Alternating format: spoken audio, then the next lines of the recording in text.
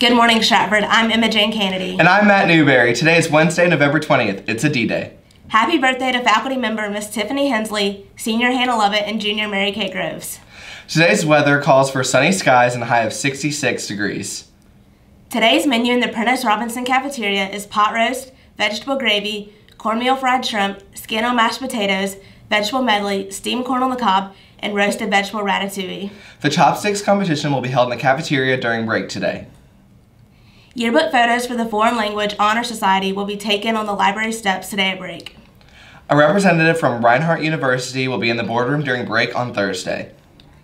Any upper school students interested in attending the National Youth Leadership Forum for Medicine this summer, please see Ms. Miner in the counselor's office. The deadline's Friday. There will be a meeting of the Spanish Club on Thursday during break.